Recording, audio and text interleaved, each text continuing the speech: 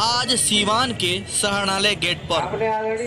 सिवान सहकारिता सूता मिल कर्मचारी यूनियन के लोग अपने एक दिवसीय धरना पर बैठे अपनी मुख्य मांगों को लेकर। यह कार्यक्रम सचिव लाल मोहम्मद मियाँ अध्यक्ष प्रिंस उपाध्याय के नेतृत्व में की गई। प्रेरणा मिली। और मैं श्री गोरख सिंह जी को पुनः आमंत्रित करता हूँ।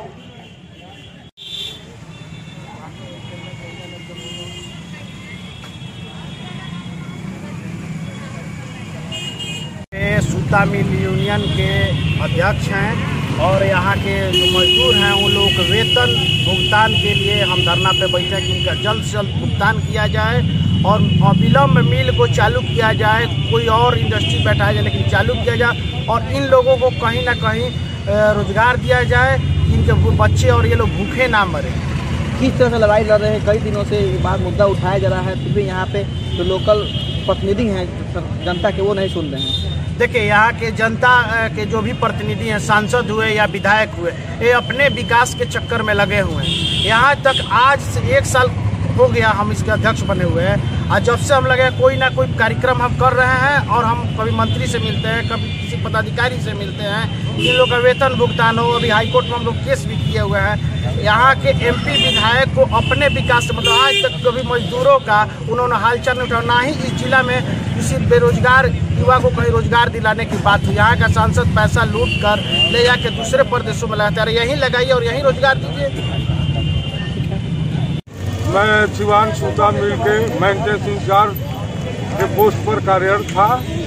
बिहार सरकार ने हमें उन्नीस सौ छियासी में पॉइंट पर करके भेजा यहाँ। इस मिल का भलो भाती इरेक्शन हुआ मिल चालू हुआ प्रोडक्शन में आया। सुचारू रूप से काम चल रहा था। आप लोग किस मांगों को लेकर यहाँ पे बैठे हुए हैं? हम लोग इस मांग को लेकर बैठे हुए हैं कि सन 2000 से ये संस्था को अघोषित बंद कर दिया गया।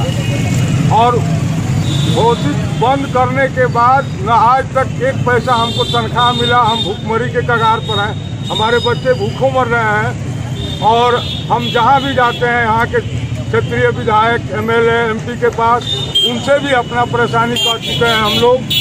लेकिन हम लोग पर विचार नहीं किया जा रहा। आपकी मांग नहीं पूरी हो रही है नहीं खुलता है तब क्या करेंगे?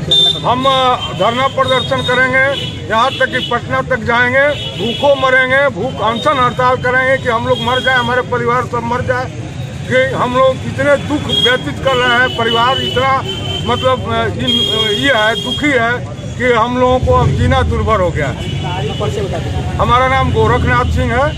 मैं इस मिल में मेंटेनेंस इंचार्ज के पोस्ट पर काम करता था।